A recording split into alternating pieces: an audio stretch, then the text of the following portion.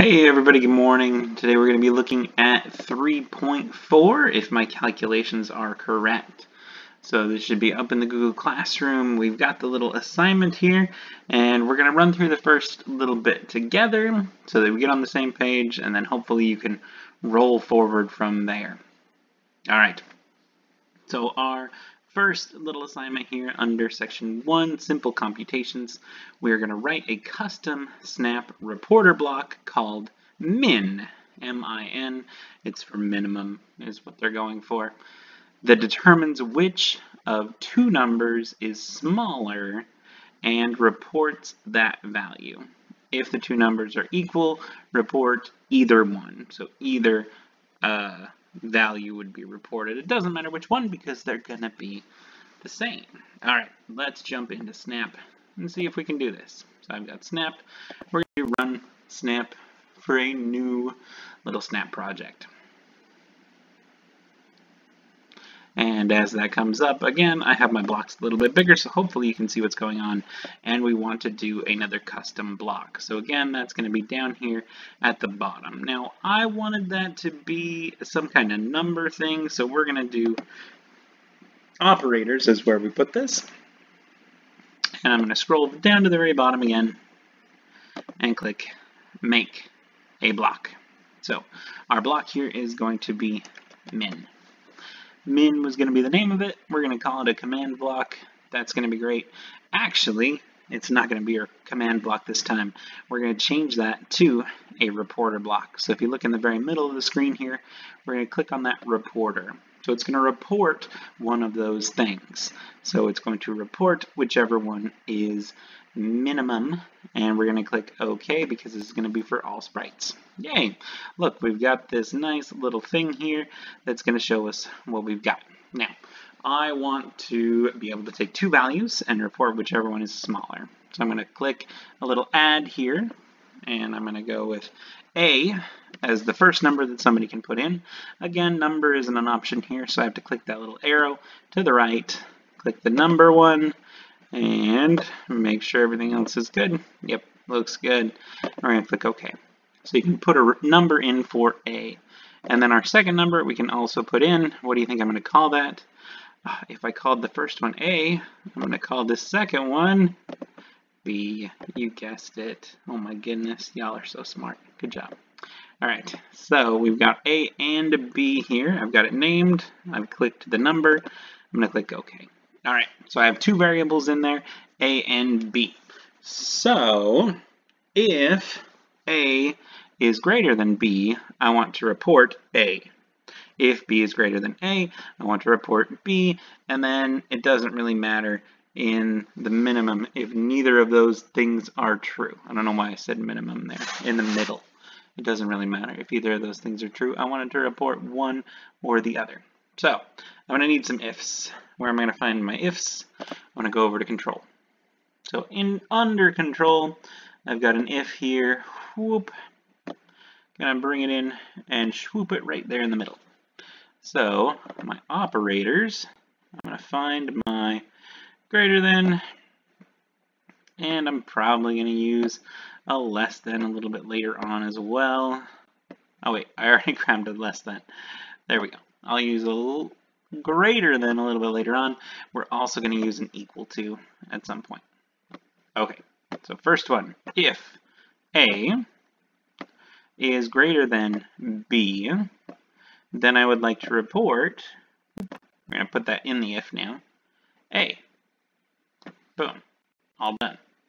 So if A is greater than B, we report A. Wait, I did that backward. Ah, I just remembered in the assignment, it's not looking for greater than. This is me not paying attention. It's called minimum. So we're looking for the one that is smaller, smaller of the two. So I want to report B in that case. If A is greater than B, I want to report B. Boom. Okay. So next, I would like to add another if in here. So I'm just going to duplicate this same thing up here. We're going to have to change that around a little bit. Whoop. Instead of my greater than, I want to put a less than in. So if A is less than B, I no longer want to report B. I want to report A. Boom. Okay, so I'm part way there. I'm going to get rid of these extras here. Drag those off the side. Yeah, get rid of those. All right. So my last one here, it can be greater than, it can be less than, and it can also be equal to. So if A is equal to B, we will then report A. I can leave that because they're going to be the same number no matter what. Okay, so let's look through the script and make sure it makes sense. So I've got min. I'm going to take my value A and my value B. If A is greater than B, we're going to report B. If A is less than B, we're going to report A. And if A is equal to B, we're going to report A.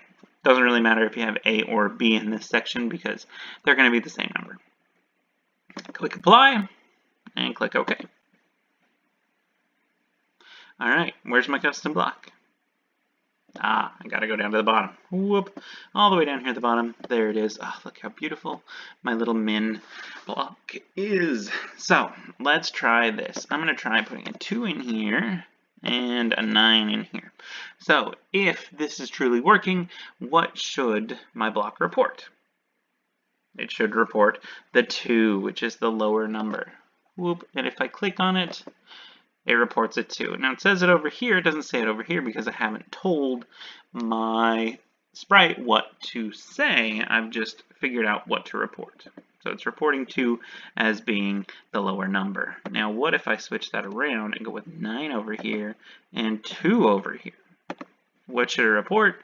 It should report 2 because that's the thing. Yay, it's the lower one. I can finagle that and make sure everything's working. We can type in a big old number here and 90 over here and it should report 90 is the smaller number and let's type in a larger number and it's reporting the smaller number. Yay! Looks like it's working just fine. The only thing we haven't tested is what if those two numbers are the same. Let's try a 6 in here and a 6 in here. Click it. 6 gets reported. Doesn't matter which one gets reported. Yay! That one looks wonderful. We can move on to part two. Let's go ahead and look at part two together as well. I'm not going to leave you in the lurch on that one. Let's see. Write a custom snap reporter block called max that determines which of two numbers is larger and reports the value of the two numbers that are equal. Report either one if or if the two numbers are equal, report either one. There we go. So wait, this is just the same thing. I just flop it. So can I copy a custom block? That a thing I can do?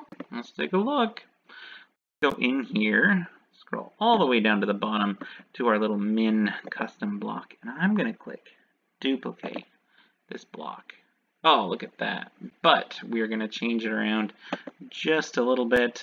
Let's see. Instead of calling that min, if I click on that, I'm going to call it max. Yes. I like it. Click OK. This time it's a max.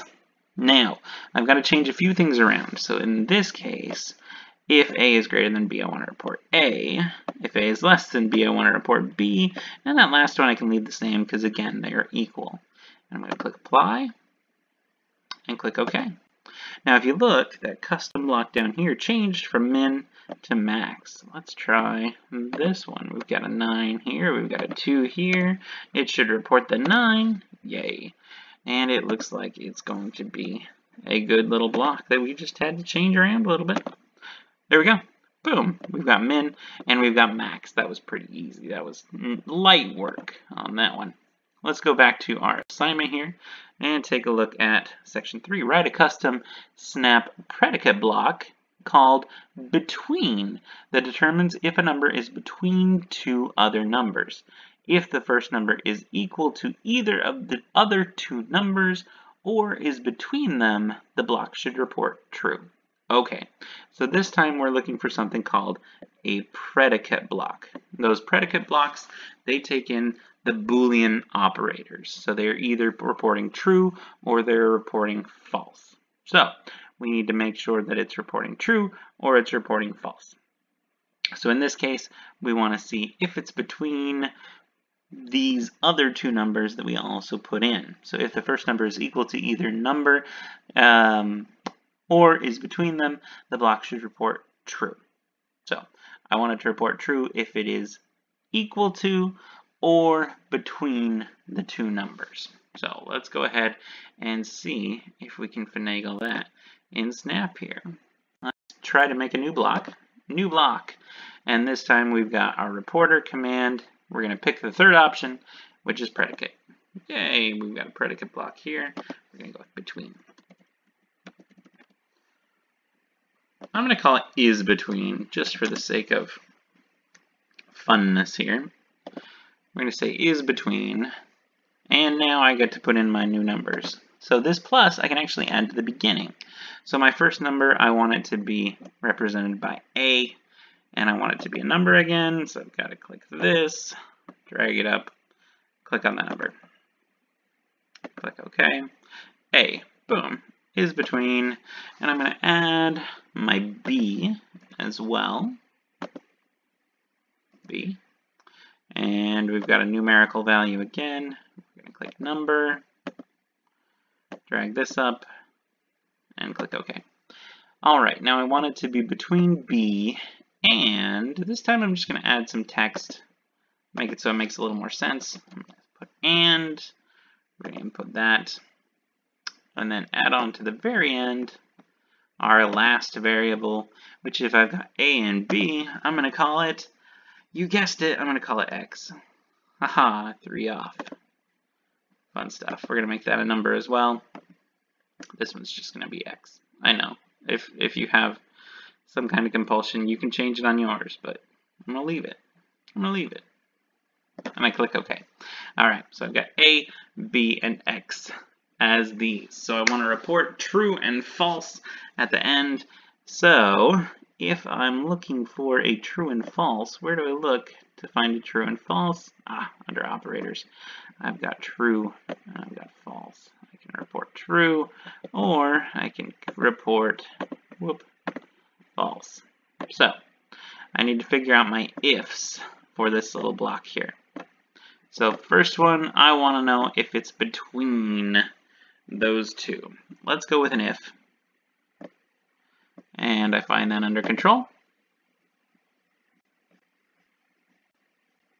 Scroll down, scroll down, scroll down, scroll down. If.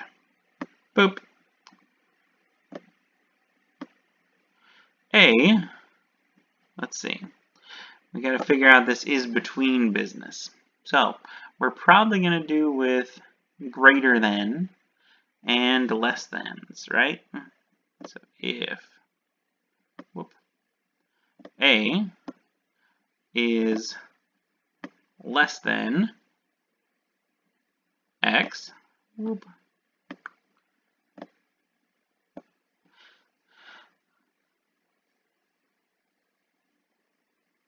we're going to go through from there. So this time we're going to be making some weird um, contingencies here because it also wants it to be if it is equal to either of the other two numbers or is between them, we're going to report true. So there's going to be some finagling. So I've got A is less than X and whoop,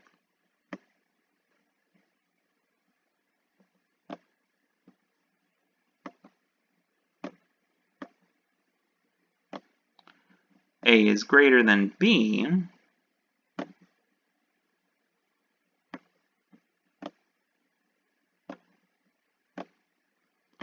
we're going to report true. Now, I could drag a bunch of ifs in here and make this a little bit finagly, but instead I think it's better if I just add more ifs rather than do an or around this and. So we're going to drag in another if. So I go back to my control, find an if, and we're going to do a very similar thing here. We're going to report true if A is equal to X or A is equal to B. We're going to report true. Duplicate. Boop. I know, making a lot of noise here. Let's see if we can make this a little bit larger, give us a little bit more space to play with. I realize this video is getting a little long, but I wanted to show you kind of the ropes here. Operators, we're going to use a couple equals to's and an or. Whoop, whoop, whoop. And I'm going to drag an A is equal to, another A is equal to, first one's going to be B, second one's going to be X. So if A is equal to B or A is equal to X, report as true.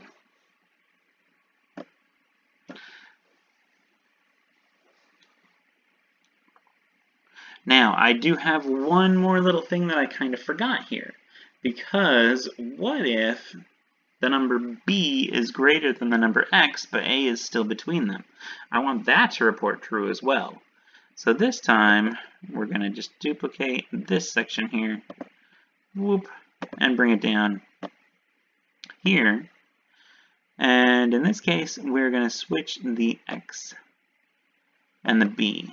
This way, it's less than b, but greater than x. We still report true because it is there. And then everything else we are going to report false. So let's see if I even need to add this here. Because I feel like reporting true is pretty much going to be offered there. And if none of those things is true, it's going to report false. I could very well be wrong, but let's give it a go. We'll see if we have to go back. We're going to click apply. We're going to click OK. Going down to the very bottom, we've got our whoop between block. So let's try a first one that makes sense. 3 is between 2 and 4. We know that's true, so we're going to go ahead and click it and see what it reports. It reports it's true. Yay, what if we flip our 4 and our 2? 3 is still definitely between 4 and 2, so it should report true. Yay. If one of these is equal to 3 and 2, yay, still reports true. And then 3 again, still reports true.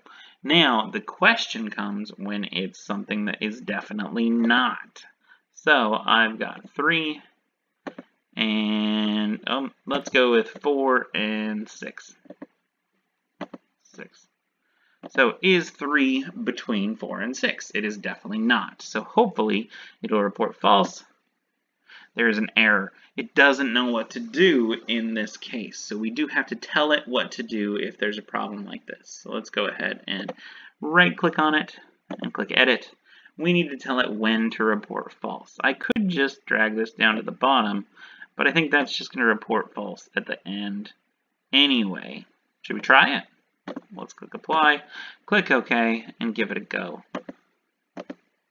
Oh, it reports false. Looks like that does work, but let's see if it's going to report false anyway, if we actually have this correct. So 3 is between 2 and 6.